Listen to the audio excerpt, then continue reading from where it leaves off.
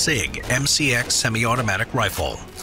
Used by Ukrainian Special Forces, the SIG MCX semi-automatic rifle was first released at the SHOT Show in 2015.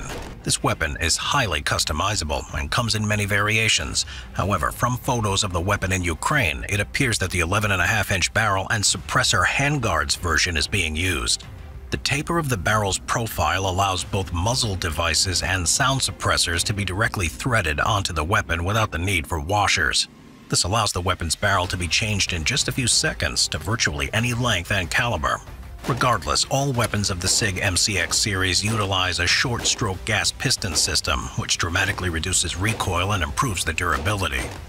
There is a reason this weapon was chosen by the Ukrainian Special Forces to protect their country. It's so quiet with the suppressor that shot timers have to be placed at the ejection port to pick up any sound.